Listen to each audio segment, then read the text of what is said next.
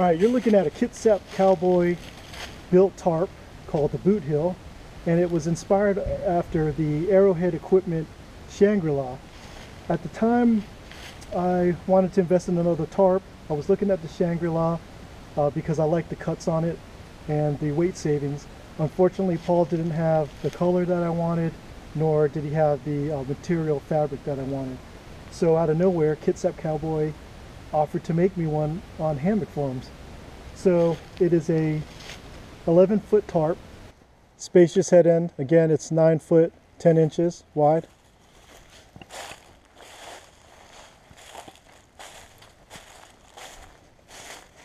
Then we got the 7 foot foot end. All right, now you're looking at the Kitsap Cowboy Boot Hill Tarp paired with the Simply Light Designs tarp beaks at each end. Again, instead of buying another winter tarp for one more season, I just thought, let me go ahead and get these tarp beak and enclose both ends of the hammock. So I'm going to show you around uh, the, the features and how I use it with the Kitsap Boot Hill tarp.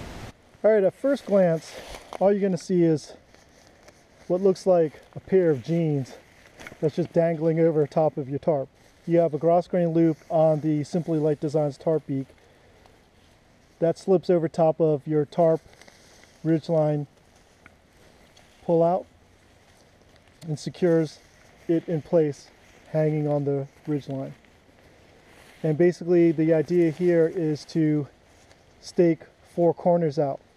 Now I was able to um, eliminate two stakes on the doors because of the beastie rings that I happen to have on the Kitsap Cowboy Boot Hill tarp. So that saved me a weight savings of losing four extra stakes because I didn't need to use them for the door. Okay, so I'm gonna set it up and uh, show you what it looks like. Right, it's gonna be kind of difficult to see because of the uh, snake skin, but anyway, this is a reinforced end for the Simply Light Designs tarp beak and it has a grosgrain loop at the very end that ties into the beastie ring of the tarp. And basically it just lays over top of the ridge line of the Kitsap Cowboy tarp and it has a split down the middle okay? And you stake it over the corner end of the tarp. All right, here's what it looks like on the head end.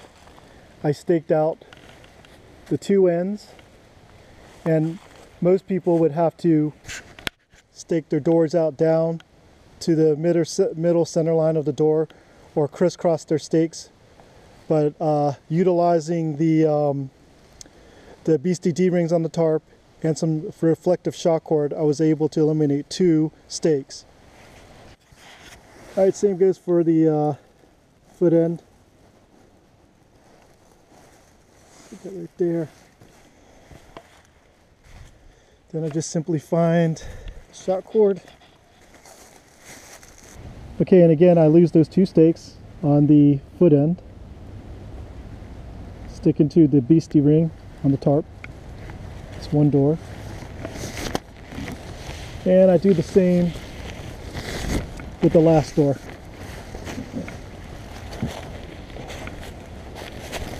Stake it out.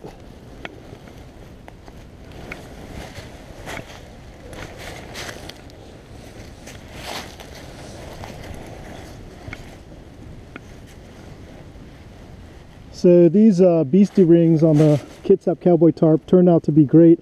I know people use them to use for their um, porch, porch mode but it proved to be perfect. And I just tension out the foot end. Tension this side out too.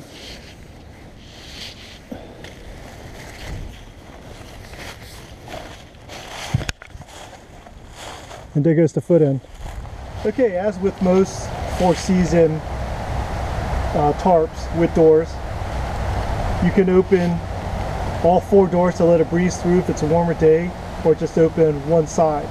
So here I can do the same with the Simply Light tarp beaks.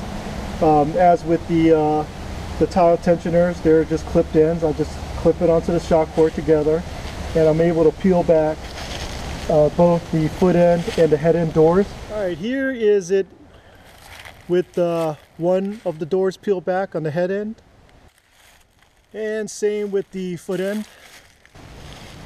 I'm going to demonstrate entering and exiting the tarp uh, by utilizing these Dutch quilt hooks and uh, I'll enter, clip in, tension, exit, unclip. Alright, simply just get in like that.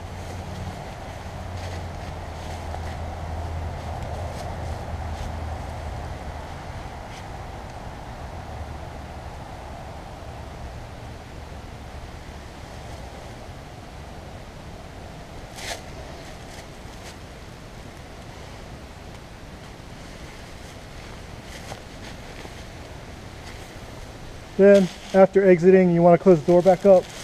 You just perform the same procedure but on the outside.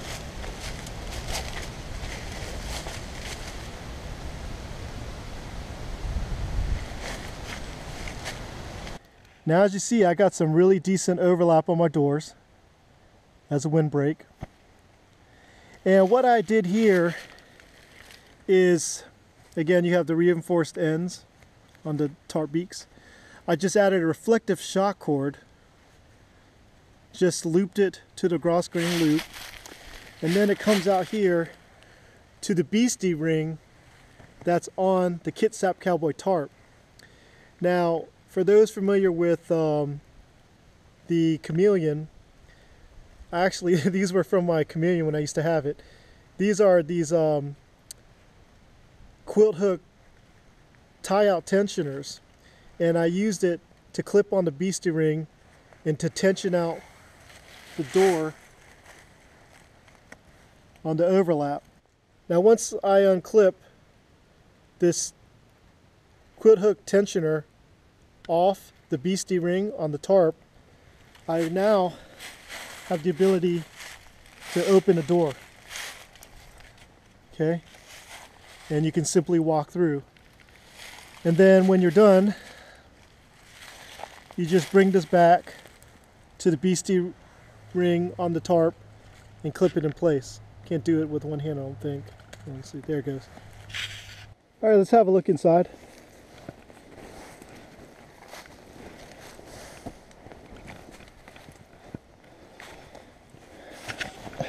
Kind of standing a little bit, crouching just a, a tad. This should be able to cut the wind down and give me somewhat of a microclimate. I'm trying to, uh, I've never had a four season tarp before. I've usually ha always had asymmetric tarps. And I'm not really one to like winter camping as much, but uh, maybe this will change my mind. There's the uh, head end with the door partially opened. And again, just to close the door. It's going to be weird with these gloves. Just find the Beastie D-ring at the end of the tarp. Clip it in place.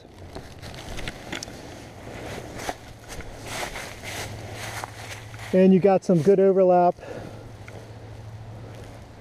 to try to uh, chill the winds out. All right, I hope this could help somebody turn their three-season tarp into a four season tarp shelter.